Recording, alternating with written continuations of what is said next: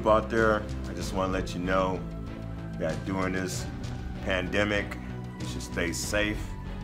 And what I'd like to share with you right now is a PSA from one of my friends from Thailand, Ken Brown.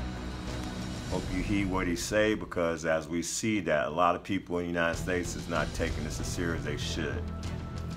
Here's Ken. Here. I'm here in front of my place in uh, Thailand and this is how serious the Thailand people take it, okay? I'm making this for my friends in the United States that are not taking it serious. This is how serious they take it. When I leave my place, when I'm just leaving today to go to work, and when I go, before I even leave the property of, my, of here, I gotta check this thing right here. Before I leave the property here, I gotta get checked. We gotta check my temperature. Let's check it again, brother.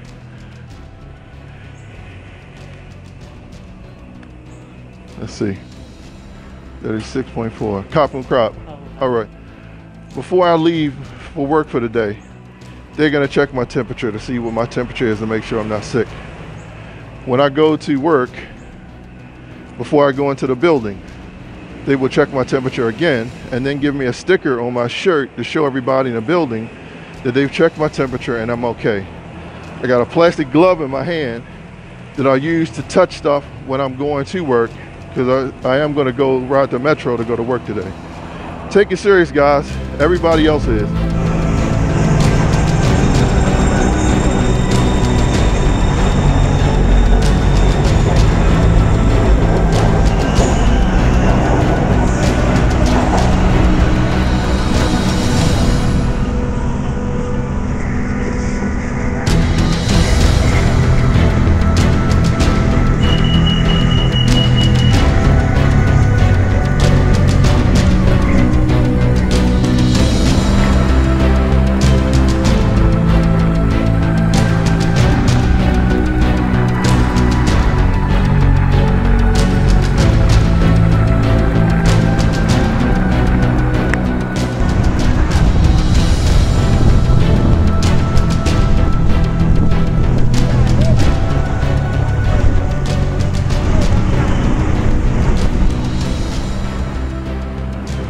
I didn't get this check yet, brother.